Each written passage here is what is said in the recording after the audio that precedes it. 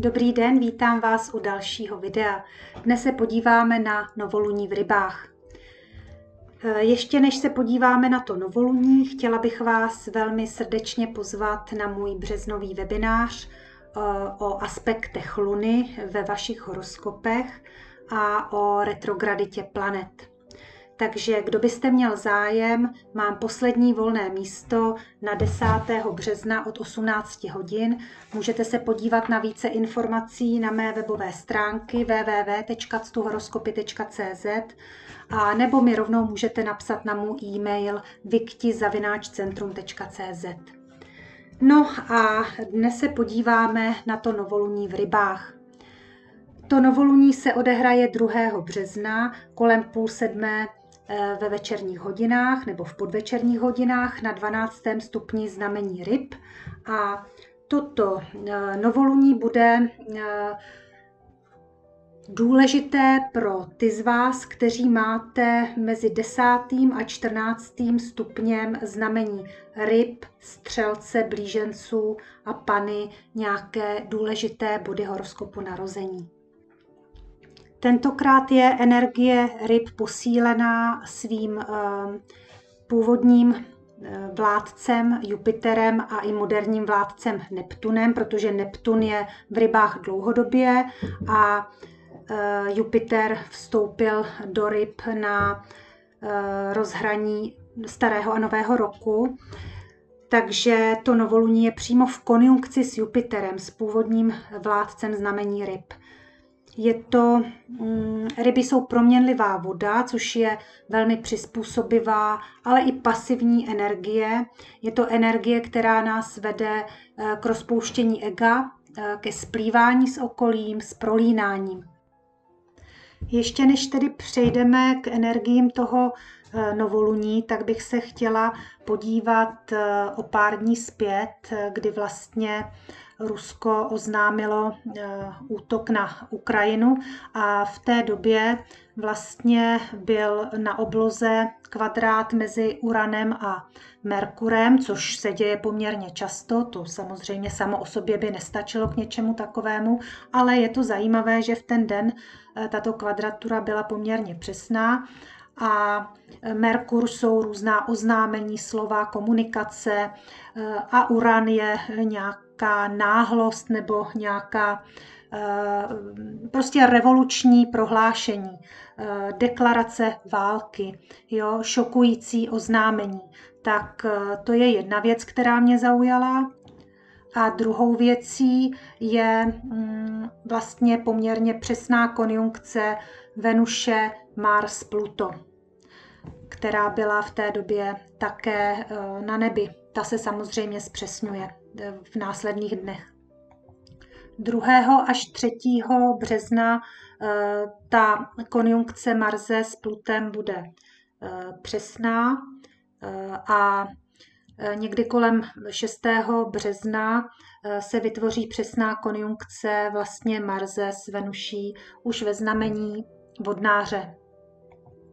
Potenciál těchto tří planet, to znamená Pluta, eh, Marze a Venuše eh, je tu hlavně pro konflikt a násilí. V této konstelaci je obrovský potenciál pro násilí. Eh, je to eskalace výbušnosti, je to eskalace vlastně nějaké konfliktnosti, násilí. Mm, Mars je velmi výbušný a Pluto touží pomoci je tam vlastně tendence v této, v této archetypální síle eh, k uvolnění titanické síly. Jo? To Pluto u toho Marze, titanická síla. Vlastně eh, Pluto je nadstavbou Marze, je to eh, z části podobná energie, ne stejná, ale velmi podobná, proto si i mm, jakoby vládnou a spoluvládnou stejným znamením. Eh, cítí se dobře ve znamení štíra, eh, případně berana. Eh, je tam potřeba vyhrát a dominovat, to je Mars Pluto.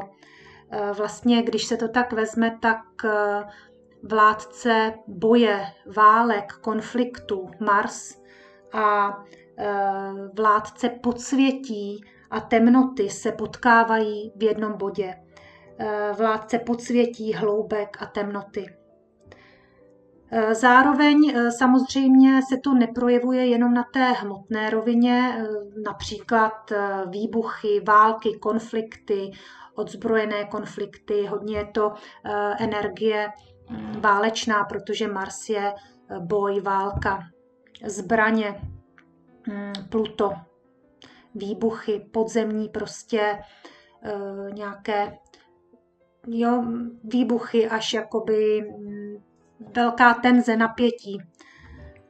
A mm, toho, toto se týká i vztahové roviny. Takže i ve vztazích můžou být momenty výbuchu, e, násilnějšího chování, jednání, protože je tam Venuše a to je planeta lásky, vztahů. Takže i v těch vztazích a v našem jednání máme tyto tendence a sklony k agresivitě. Eh, samozřejmě v následujících dnech toto napětí bude eh, velmi eskalovat a bude se eh, uvolňovat.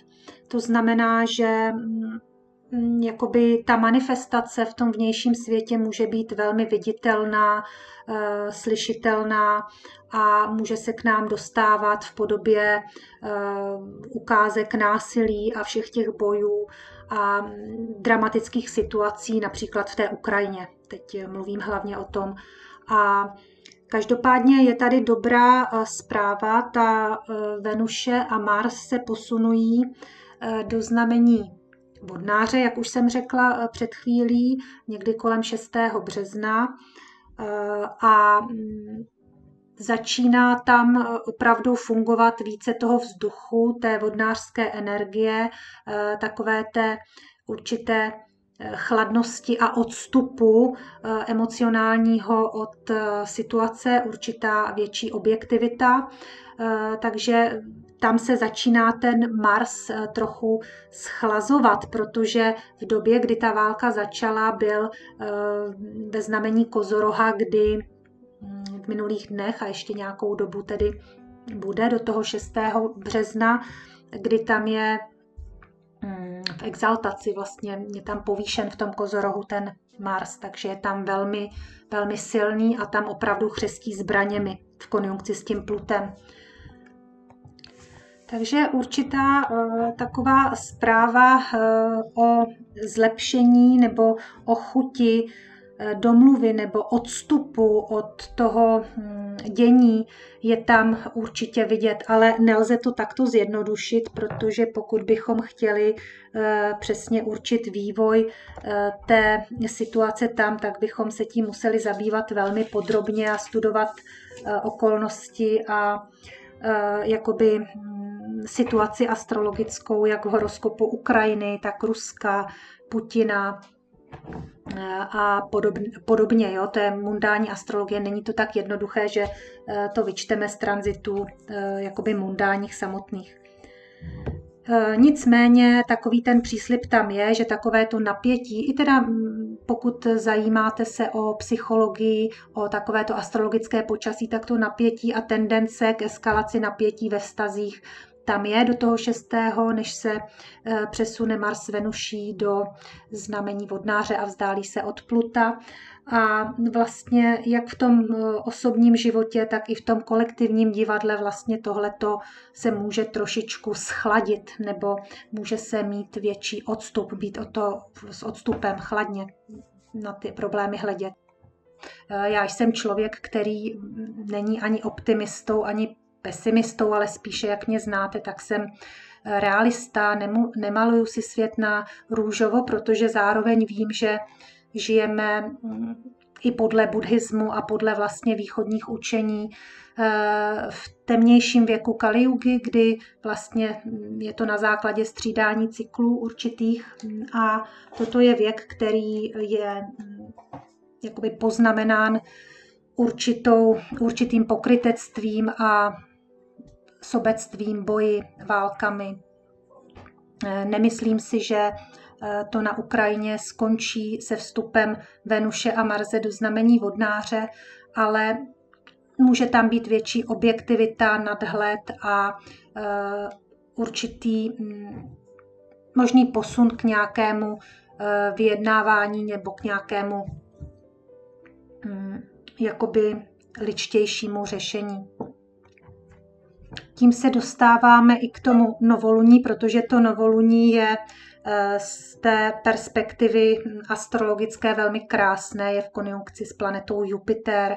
Eh, tato, tato konjunkce vlastně toho novoluní s Jupiterem je v rybách, eh, v sextilu na Urán, takže vlastně mm, to je nádherná energie plná uh, takových jakoby ideálů a očekávání uh, nějaké lepší budoucnosti, nadějí, uh, idealismu.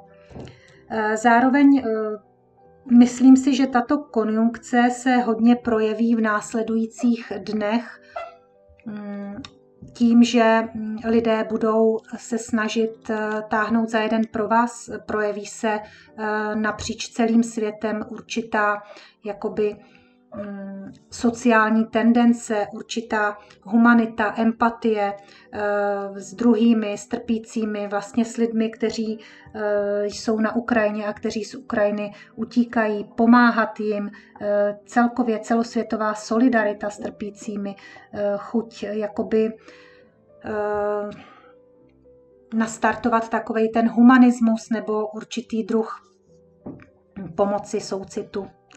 Eh, je to, je to krásná konstelace, která i v těch našich osobních životech může eh, v té životní oblasti, kde se nám toto hm, odehraje, toto novoluní, hm, postavit věci zlepšovat, tendence věci zlepšovat v té životní oblasti, mít tam více příležitostí pro zlepšování, pro porozumění, eh, lepší vyhlídky, mm, pro, pro nějakou protekci nebo, nebo nějaké dary. Jak už jsem říkala, když jsem dělala předpověď pro rok 2022, eh, tak eh, ten vstup Jupitera do znamení ryb samozřejmě jakoby rozšíří tu tendenci mm, Ehm, jakoby humanitárních, humanitární pomoci. Ehm, vlastně vznikne vždycky takovéto pole, které může eh, dát těmto energiím takový jakoby průchod, projevit se v té pozemské rovině, takže i třeba paradoxně skrze válečný stav protože vždycky je to hnané do extrému tím, že vynikne ten opačný pól, že vlastně začne válka a tím se jakoby eh, aktivují ty síly humanity, lásky, sounáležitosti a pocitu jakoby jednoty s těmi trpícími. Mm, takže já si myslím, že bychom toto měli využít každopádně i ve svých individuálních životech a já sama se snažím v životě řídit tím, že vlastně co člověk eh, může udělat v určitém dosahu eh, svém, tak eh, to ať dělá. Více stejně dělat nemůže, ani nemá možnost zasáhnout do toho širšího kontextu toho vývoje. Vždycky jenom sám u sebe, ve své vlastní rodině, v případě, že můžete pomoct, pomáhejte, ale hm, hlavně se snažte jít příkladem. Eh, to si vždycky musíme uvědomovat. Nemá cenu se hádat s bližními, názorově se střetávat nebo vytvářet nějaké konfliktní situace, protože čím víc jich vytváříme v těch osobních životech, tam, tak tím víc rostou i v té kolektivní úrovni a potom se manifestují třeba i konflikty otevřenými mezi národy a tak dále. Takže mm, já nám přeju nádherné novoluní, eh, velmi optimistické, jupiterské, v podstatě jedno z nejkrásnějších novoluní. A novoluní jsou vždy nové začátky, takže se opravdu podívejte, do jaké té životní oblasti se nám to novoluní postaví. Eh, moc vás zdravím a přeju všem hodně zdraví a pohody. Mějte se krásně.